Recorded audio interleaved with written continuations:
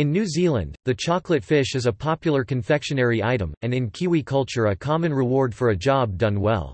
Give that kid a chocolate fish. Chocolate fish have a conventional fish shape and a length of 5 to 8 centimeters. They are made of pink or white marshmallow covered in a thin layer of milk chocolate with the ripples or scales on the fish created simply by the fish moving under a blower. This slides the unset chocolate back, creating the illusion of scales on the fish. Several manufacturers make the fish, but the most well recognized is Cadbury.